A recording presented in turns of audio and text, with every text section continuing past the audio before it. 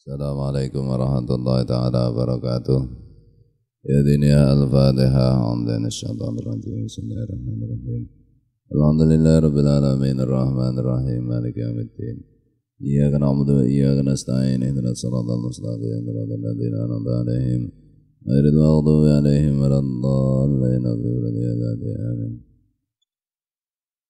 أعوذ بالله من الشيطان الرجيم. بسم الله الرحمن الرحيم. الحمد لله رب العالمين. اللهم صل وسلم وبارك على سيدنا محمد وعلى آله وصحبه وإخوانه من الأنبياء والمرسلين. صلوات الله وسلامه عليهم أجمعين في كل وقت وحين أما بعد سبحانك لا علم لنا إلا ما علمتنا إنك أنت العليم الحكيم. ولا حول ولا قوة إلا بالله العلي العظيم العزيز الحكيم. وليفتتح wal yaftatihid dunga'a bilhamdulillah wasana'i alaihi. Dan seyogianya awalilah bukalah doa dengan memuji Allah dan dengan berterima kasih kepada Allah dan memuji Allah. Alhamdulillah dan seterusnya itu. Summa salati wassalami ala nabiyyi wa ala alihi. Kemudian setelah berterima kasih dan memuji Allah, kemudian membaca salawat kepada Nabi dan kepada keluarga Nabi. Jadi, dengan memuji Allah, berterima kasih kepada Allah, itu kita mengingat bahwa Allah itu Ya maha terpuji, salah satu bentuk maha terpujinya adalah maha memberi. Kan, dan itu yang berdoa itu yakin kalau nanti Allah itu mengabulkan. Nah ketika hamba itu yakin kalau Allah mengabulkan, ya Allah akan mengabulkan. Karena Allah berfirman, ini ngindadani abdi bi kan itu Aku itu hanya mengikuti persangkaan hambaku kepadaku. Hambaku berprasangka aku mengabulkan, ya aku kabulkan. Kemudian membaca sholawat dan salam kepada Rasulullah SAW dan kepada keluarganya. hmm. Wal yakhtim tunga'ahu bimisli dalika. Kemudian tutuplah atau akhirilah doa itu dengan yang demikian pula maksudnya baca sholawat Nabi terus memuji Allah hmm. kalau permintaan itu diapit oleh sholawat itu Allah malu untuk tidak mengabulkan. Nanti hadisnya kan ada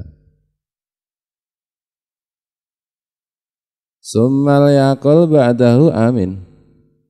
Kemudian uh, setelah selesai berdoa tentu saja membaca amin. Amin bisa. Amin bisa. Amin ya bisa. Nah, amin itu bisa dibaca. Amin boleh. Amin boleh. Amin boleh. Itu Berdoa artinya. Wal yuksir al abdu jiddan min su'alil afiyati fid dunya wal akhirah. Dan seseorang itu seyogianya memperbanyak dengan benar-benar dengan sungguh-sungguh dari memohon afiyah di dunia dan di akhirat. Afiyah itu ya enak terproduktif, enak sehat itu Misalnya badan sehat. Nah, badan sehat itu bisa jadi digunakan untuk maksiat, bisa jadi digunakan untuk ibadah, untuk taat. Nah, sehat yang digunakan untuk taat itulah ngafiah. Miskin yang disertai dengan sabar itulah ngafiah.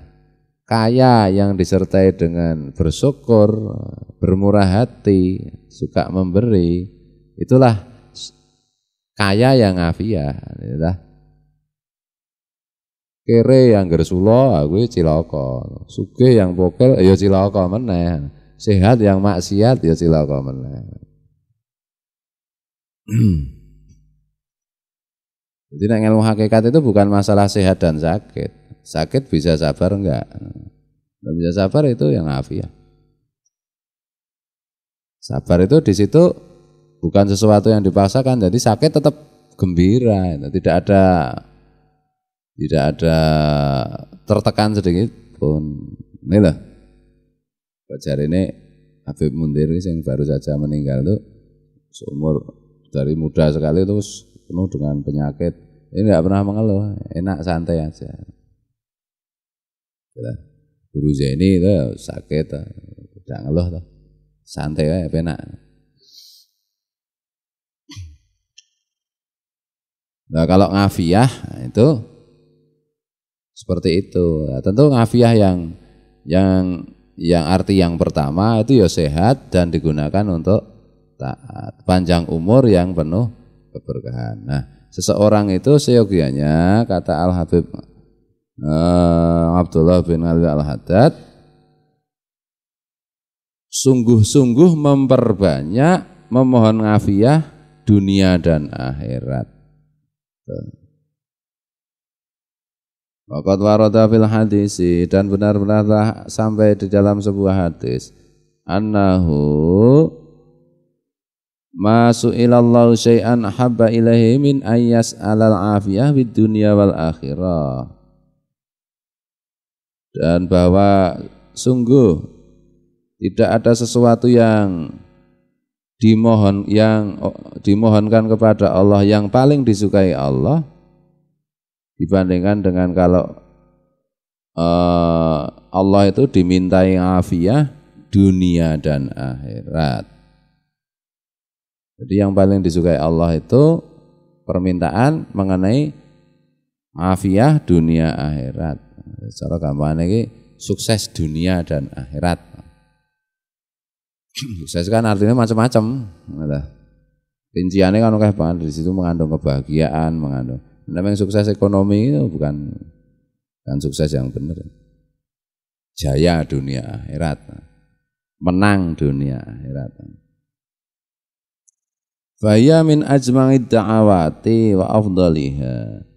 Nah, memohon afiat untuk dunia dan akhirat itu adalah uh, doa paling komplit dan paling utama. Allah wali taufik dan Allah lah zat yang memberi pertolongan.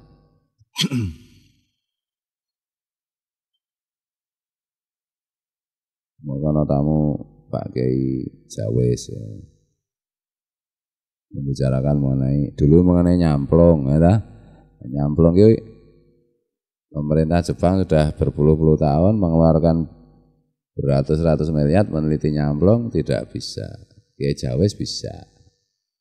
Pemerintah Jepang meneliti sidat berpuluh, sudah 10 tahun lebih berapa miliar entah melibatkan berapa profesor sampai hari ini belum bisa memijahkan sidat. Pak Kiai Jawes bisa. Ya. Aku santri kuwi. Santri ki ngono kuwi ya lah. Itu basicnya semua Quran, semua kitab kuning. Udah profesor doktor aja diak ya Kangge Jawa sekolahnya MTS apa man ya ta. Mondok ngaji tenanan. Pintar bangane profesor doktor. Untuk hal teknis, untuk hal teknis itu kan biasanya selama ini kan didominasi oleh kelompok akademik ta, kelompok sekolah ta. Ini teknis ilmiah ya menyangkut sains ya sain ngerasa ragate meliatan ketemu nah Nek santri aku dunia keren ngono ya. Di bidangnya beda-beda. Nah, bidangnya wong dedone aku tuh keren ngono nanti ngaji itu harus bisa mengilhami kehidupan dunia dan akhirat. Mong sekedar textbook ya kok sing nang YouTube wae ya. Ada orang, nggak usah saya sebut namanya lah. Dari lahir tahun 60, sejak 14 tahun ikut orang tuanya ke Mekah berguru kepada Mas Sayeh, Mas Sayeh yang hebat-hebat itu. Termasuk katanya kepada Syekh Muhammad Maliki ya, Kitab apa aja udah dimakan, dikunyah habis-habisan. Luar kepala. Makanya nek menjawab soal-soal tentang hal-hal teknis, hal-hal syar'i, hal-hal yang berkaitan dengan muamalah itu canggih banget argumentasinya. Tapi kalau bicara ilmu hakikat ya kepleset. Enggak paham apa-apa. Nah, kesimpulanku ki ada banyak baca kitab, gurunya ya ampuh-ampuh. Dah. Itu Allah tidak memberi pinter ya tidak pinter ya itu kami. Kenapa? Di banyak anu itu. Kembali diingatkan bahwa ilmu itu kan ya memang dari Allah. Guru itu kan hanya lantaran membantu. Itu daftar tak delok WP itu daftar guru karo saya ini, saya ini, saya ini, saya ini, saya ini. Wah, kebuang. Wah. Tapi mendengar ceritanya guru Zaini aja jepat dia itu. Dan argumentasinya itu ya lucu gitu loh. Dia datang guru Zaini disuruh cerita sama Rasulullah untuk bahwa guru Zaini dicium lututnya oleh Rasulullah. Masa Rasulullah cium lutut? Emang Siden itu lebih hebat dari Rasulullah? Ya enggak, anak Kalau seorang ayah mencintai anaknya, jangankan kok cium lutut, bokong aja bisa dicium, anak Soalnya aku karo sholah, nah, sholah segedean ya, nek dicium bokongnya ngentut ya ngambut. Jadi kalau alha saking gemesnya ya tak cium bokongnya barang tuh.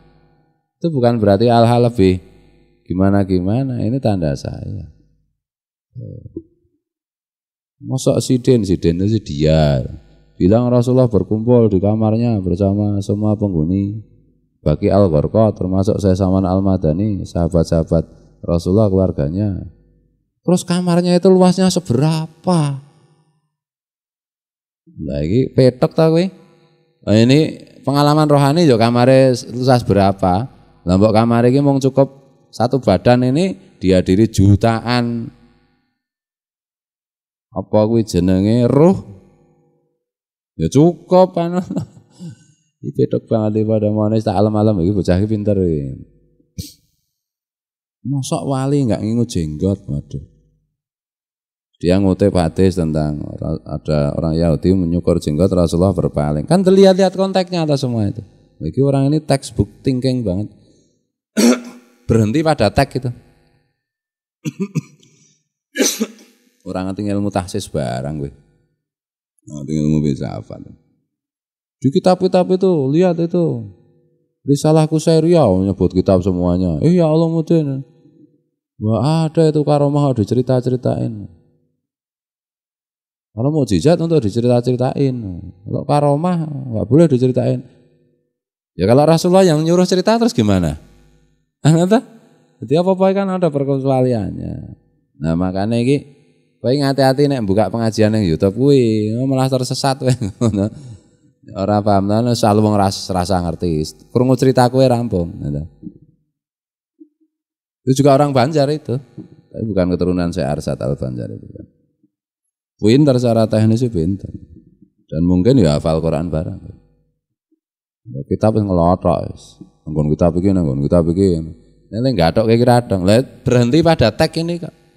Aku tadi kalingan sakiman karo Roslan gitu. Dan jangan lihat dong mulang ngaji ini berhenti pada tag. Gitu. Udah. Gomoy kan tidak mudah. Mosok wali di situ ada yang menghadap perempuan tidak nutup aurat. Lah tamu je. Anda tahu? Mosok wali ngerokok apa enggak tahu bahwa rokok itu haram? Loh. Sejak kapan rokok itu haram? Mosok wali sakit enggak sembuh-sembuh tiap minggu cuci darah. Loh, apa hubungannya wali dengan sakit tahu? Kalau wali benar ya harusnya sembuh loh. Sing ora tau lara ki mahfir ngono, ora kaitane. Lah nek Allah menghendaki sakit ya gimana? Banyak wali yang seumur hidup itu kerjaannya sakit aja kan. nah, gitu loh. Makanya statement-statement di internet itu nah, nek sing rata buka internet mah aman.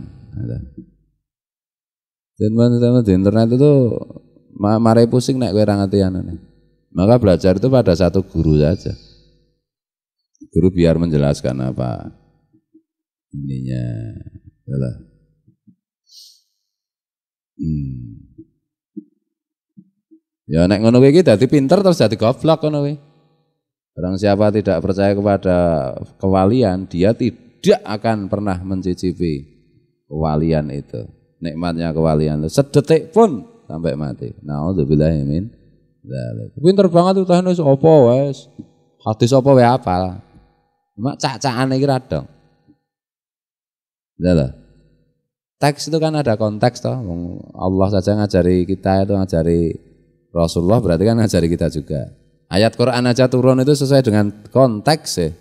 Dan zaman kan berubah toh maka Rasulullah bilang setiap 100 tahun akan ada mujadid dan pembaharu. Orang yang me, mengaitkan lagi teks-teks yang diajarkan Allah dan Rasulullah serta para pendahulu, ulama-ulama pendahulu dikaitkan dengan zaman yang sedang terjadi kan Nah, itu ora gampang ilmu ngel ya Hmm. Oh, aku terus kelingan Mbah Tim itu dulu golek ilmu rasa ado atau ora tekan Arab, Arab dikuasai Wahabi. Dan itu gurunya juga bukan anu aja, bukan Wahabi dia ngakunya banyak. Saya Muhammad kan bukan Wahabi, Ahlussunnah aja. Terus kuliah ning Al Azhar barang. Semarang kita barang. Ini sekali goblok-goblok aja. Terserah Allah itu kalau mengangkat seseorang menjadi wali enggak peduli. Apa pun yang dilakukan sang wali itu kan ana nek kaidah dasarnya mana? Ya ada kriteria syariat ada. Itu kan ana tahsis, ana perkecualian. Dilarang masuk. Itu kan umum kalimat umum. Kecuali petugas. Ya kan ana kecuali ta? Nah, makanya hati-hati nek internet itu rasa buka-buka situs-situs yang tentang. Aku malah bingung. Situs-situs agama macam-macam malah bingung kok. Kaya beda ya karo sing diulangke kae. Ya mungkin beda mungkin. Sing tak buka iki situs wong gemblong ngono. Atau jane iki padha ning kowe ra iso nggathuke radong maksude. Sing tak kandhake werong dong tambahi meneh mah pusing. Padha karo mendengar cerita tentang kiai dari santri-santrinya itu ya nengko sike. Nanti dulu, malah pusing gue. Nanti dulu, lihat-lihat dulu. Seberapa dekat santri itu dengan sang kiai. Seberapa akrab, seberapa cerdas. Memang ora cerdas wae ya cerita-cerita dujo sakarep-karepe. Dan sang kiai itu pasti bukan seperti itu. Nah, Pokoknya sing abot-abot kuwi ya ta. Wah nek anu enggak boleh ini enggak boleh ini wah apa-apa kok enggak boleh. Dimulailah dari yang boleh-boleh saja. Yang ringan-ringan saja.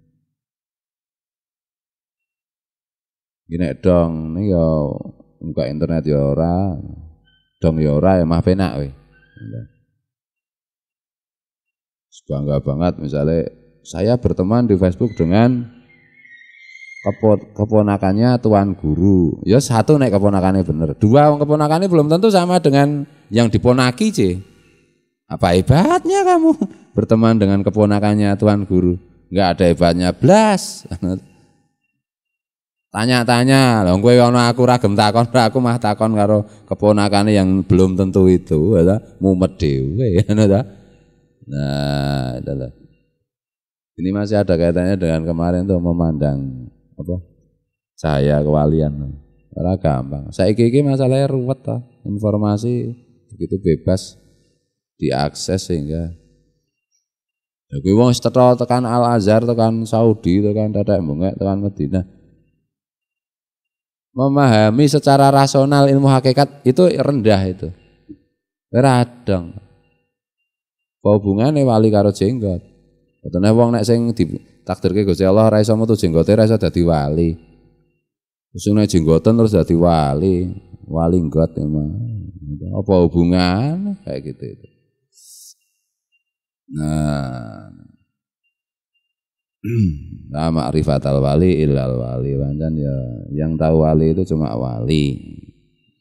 Lah aku ngerti nek guru Zen iki wali wong, aku wali. Wali murid. Karena ada tanda-tandanya tuh ya kesaksian-kesaksian banyak.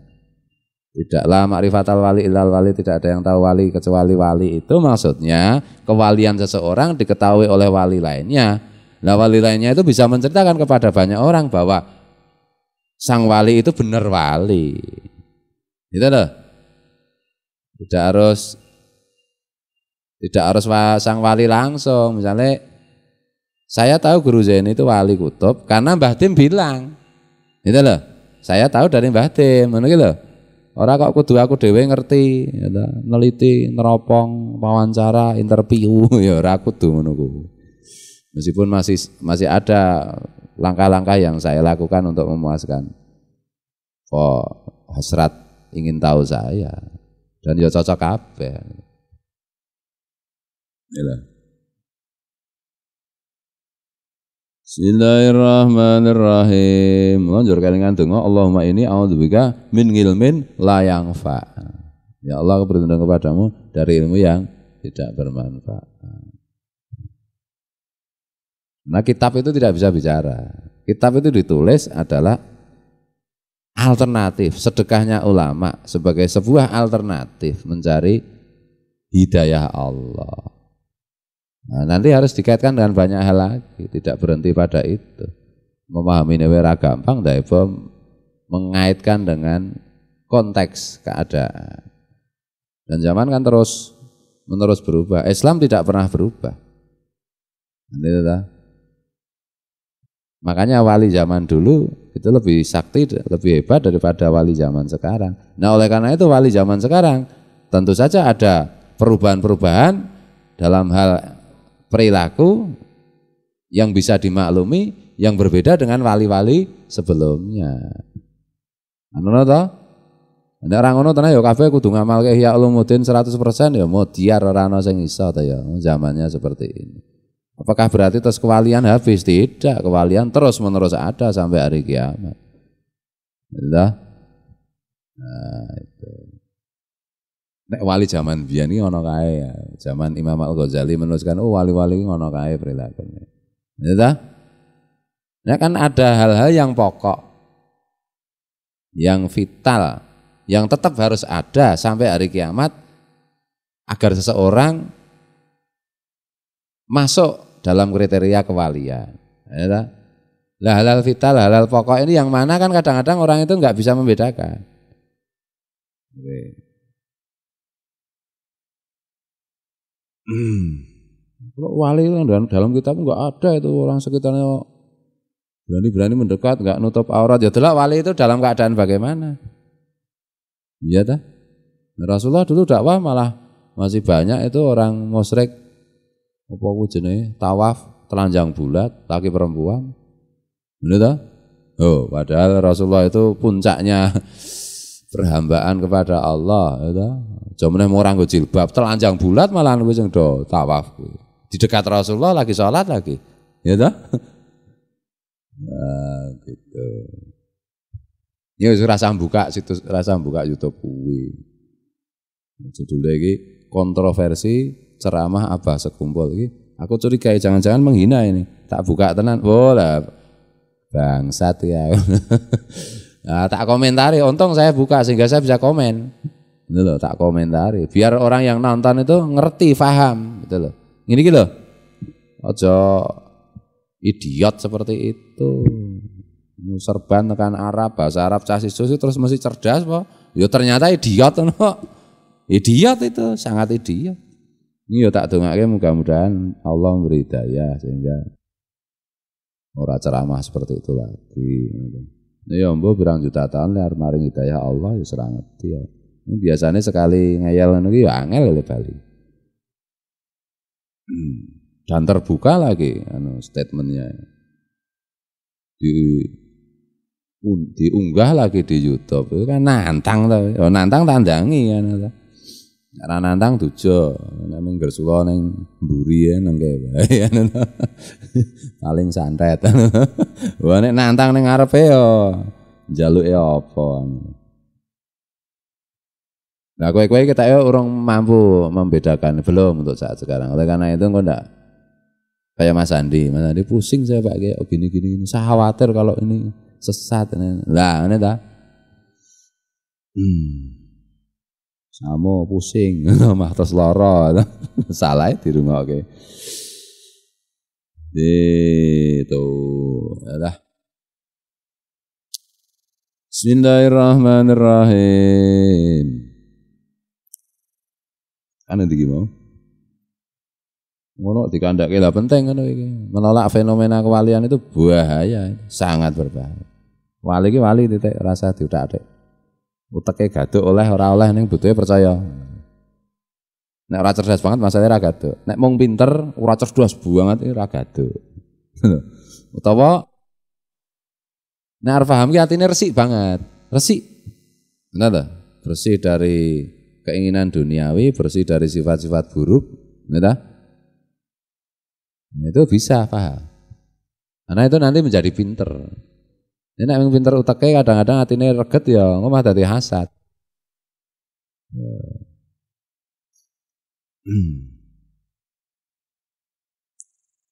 Bismillahirrahmanirrahim. Suma annahu qad waradangan Rasulillah sallallahu alaihi wa alihi wasallam minal adhkari wal adniyati al mutlaqati. Lah, saya mengulang lagi yang itu itu.